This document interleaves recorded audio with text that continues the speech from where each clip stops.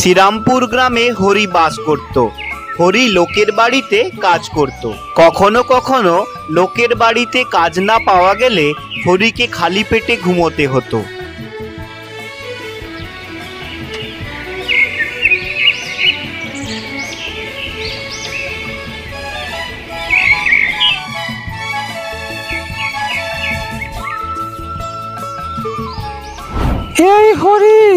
বাড়িতে আছিস নাকি?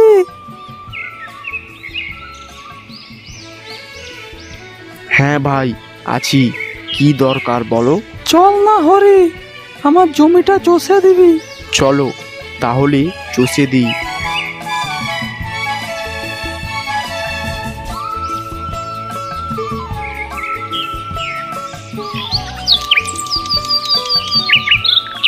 কাজ তো হয়ে গেল।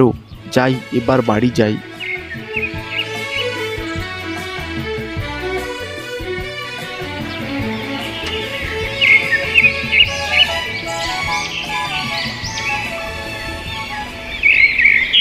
কি গো আজ তুমি তো কাজে যাওনি?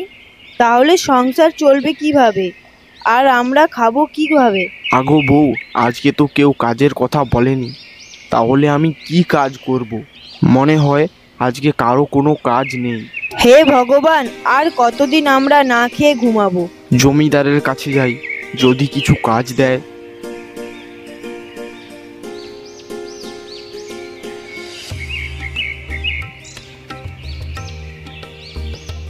কিরে হরি তুই? আমার একটা কাজের খুব দরকার ছিল। ঘরে যে খুব অভাব। আরে সে তো বুঝলাম। কিন্তু তুই কি পারবি কাজটা করতে? যদি কিছু একটা হালকা কাজ দেন।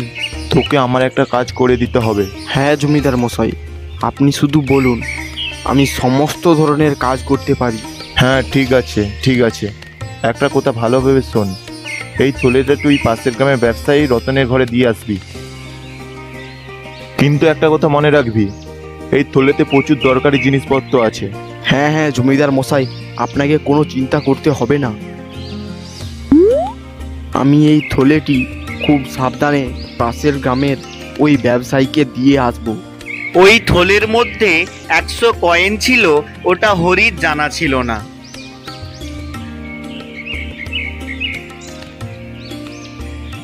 হরি চলতে চলতে হাঁপিয়ে গেল। ওরে বাবা পুরো হাঁপিয়ে গেলাম। এই গাছটির গোড়ায় বসে একটু চিড়িয়ে নিই। তারপর নইলে থলেটে নিয়ে যাওয়া যাবে।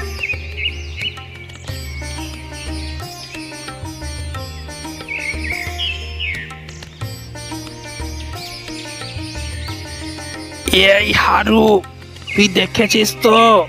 ওই থলেটায় অনেক মাল পাওয়া যাবে।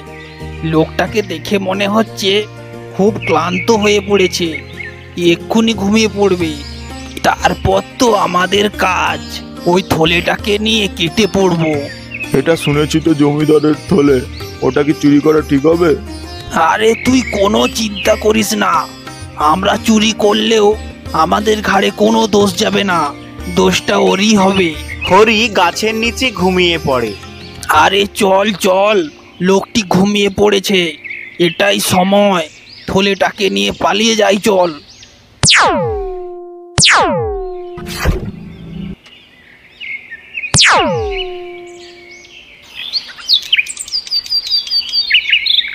আহ খুব ভালো ঘুম হলো। এইবার নয় থলেটি নিয়ে নিই। আরে, আমার থলেটি কোথায় গেল? হায় ভগবান, আমার থলেটা কোথায় গেল? এখন আমি কোথায় ওই থলেটা খুঁজবো? হায় ভগবান, এবার আমি কীভাবে জমিদার মশাইকে মুখ দেখাবো? জমিদার মশাই জানতে পারলে যে আমাকে জানে মেরে দেবে।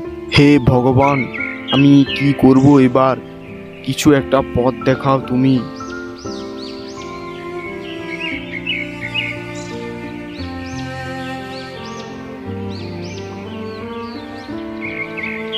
বলছি, জমিদার মশাই, আমি ওই থলেটি হারিয়ে ফেলেছি। কি বলছিস? তুই থলেতে হারিয়ে ফেলেছিস? তুই কি জানিস, ওর মধ্যে একশোটি সোনার মুদ্রা ছিল?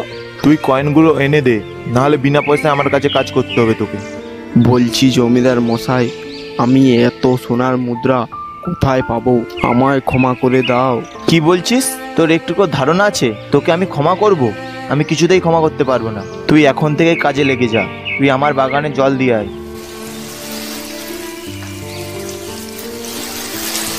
প্রচুর পরিশ্রম করা সত্ত্বেও হরিকে শুধুমাত্র একবেলার খাওয়ার দেওয়া হতো।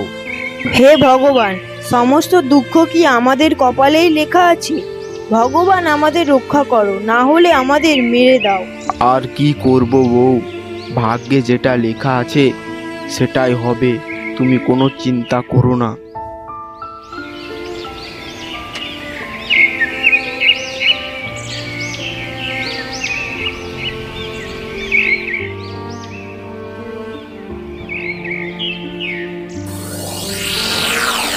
তুই ওই পাহাড়ের পাশে জমিটার চষে আয়। আমি ওইখানে এবার ধান গাছ লাগাবো।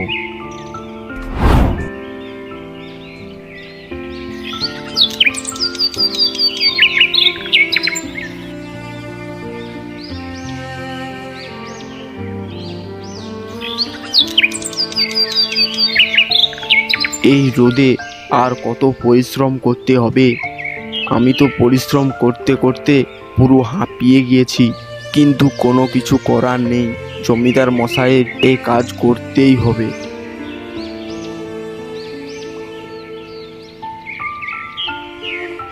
উহ আর আজকে মনে হচ্ছে পারব না। যাই, বাড়ির দিকে যাই।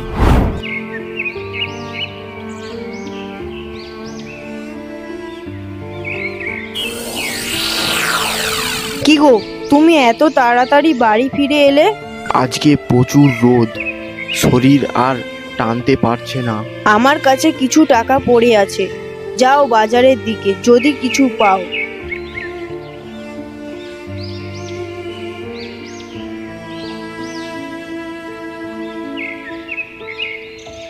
কি গো রামুদা সবজি কত করে দিচ্ছ?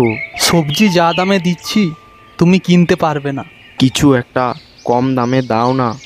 কাল থেকে কিছু খাইনি। এই শুকনো আমগুলো পড়ে আছে এইগুলো নিলে নিতে পারো। ওইগুলো না হলে দাও আর কি করা যাবে? নাও নাও আমগুলো নাও।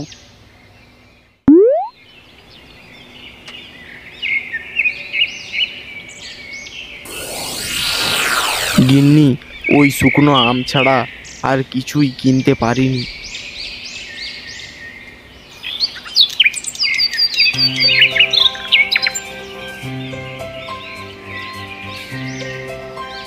হরি তুই কোথায়? তুই বাইরে আয়। কি হয়েছে জমিদার মশাই? তুই ওই ছোট জমিকে চষতে আর কতদিন লাগাবি? আরও তো কাজ আছে সেই কাজগুলো করবে কে? কিছু না খেয়ে আজকে কাজটা করে দিতে পারব না। কিন্তু আমি খুব তাড়াতাড়ি আপনার জমিটা চষে দেব। হ্যাঁ হ্যাঁ তাড়াতাড়ি চস তাহলে আমি যাচ্ছি।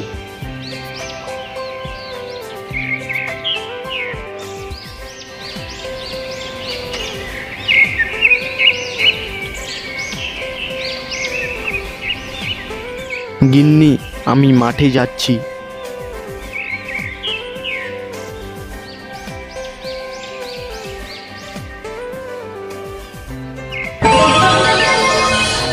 এটা তো সোনার কয়েন। হে ভগবান, আপনাকে লক্ষ লক্ষ লক্ষ ধন্যবাদ।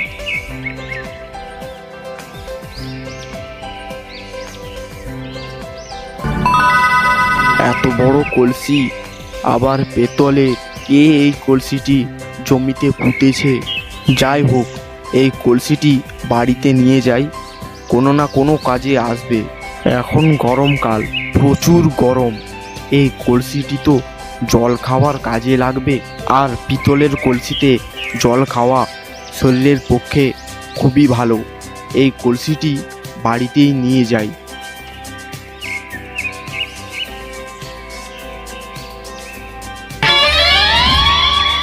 এ তুমি কার কলসি নিয়ে এসেছ? আমাদের বাড়িতে? এটা কারও নয় এটা আমি মাটি খুঁড়তে খুঁড়তে পেয়েছি। শুধু তাই নয় একটি সোনার কয়েনও পেয়েছি। হ্যাঁ এটা তো সোনার কয়েন। এই কয়েন বিক্রি করে আমরা কিছুদিন খেতে পারব। ভগবান আপনাকে লক্ষ লক্ষ ধন্যবাদ। তুমি ওই কয়েনটি কলসির মধ্যে রেখে দাও। আমি কাল সকালে উঠে বাজার থেকে কিছু কিনে আনব।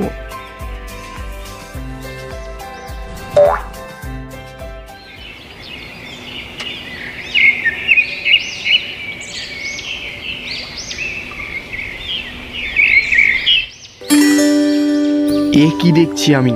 আমি কোনো স্বপ্ন দেখছি না তো? এই কলসিটি সোনার কয়েনে কি করে ভর্তি হয়ে গেল? বউ, দেখে যাও দেখে যাও, কলসিটিতে সোনার কয়েনে ভরে উঠেছে, বউ, দেখে যাও দেখে যাও। আরে আরে, এত সোনার কয়েন আমি তো বিশ্বাস করতে পারছি না। আমরা তো কালকে এই কলসিতে একটি মাত্র কয়েন রেখেছিলাম। ভগবান, আপনাকে লক্ষ লক্ষ ধন্যবাদ। আমার মনে হয় এটা কোনো জাদু কলসি। আমরা এই কলসিতে একবার পরীক্ষা করে দেখি। এই কলসিতে আমরা একটা বেগুন রেখে দেখি। হ্যাঁ সত্যি সত্যি। এটা কোনো জাদু কলসি। এবার আমাদের কোনো দুঃখ থাকবে না। এবার জমিদারের একশোটি সোনার কয়েন দিয়ে আসি।